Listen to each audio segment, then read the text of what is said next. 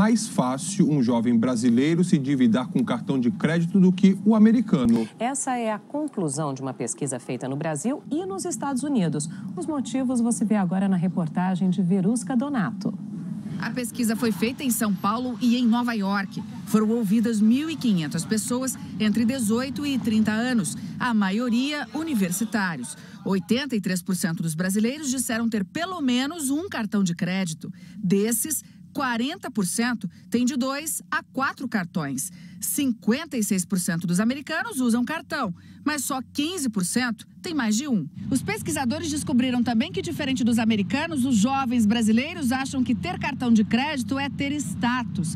E quanto maior a quantidade de cartões e o limite de compras, mais esse jovem se sente confiante e participante da sociedade. Os americanos usam o cartão principalmente para emergências e dificilmente mais de uma vez por dia.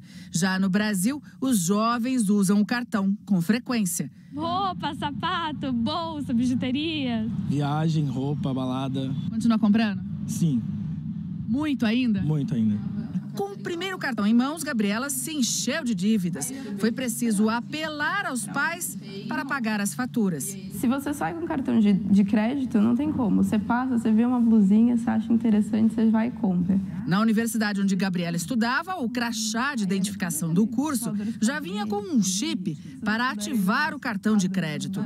Os alunos eram procurados por funcionários do banco, o que é proibido nos Estados Unidos. Pegavam seus dados em uma semana o cartão já estava na mão para você utilizar.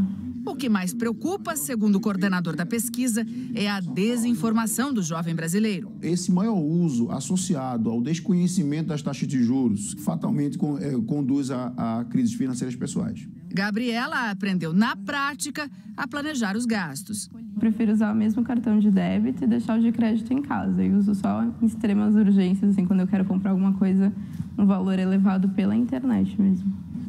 O coordenador da pesquisa no Brasil diz que os pais americanos conversam mais com os filhos sobre assuntos financeiros do que os pais brasileiros. Talvez isso ajude a explicar por que eles preferem gastar menos agora para poupar e ter mais no futuro. Exatamente.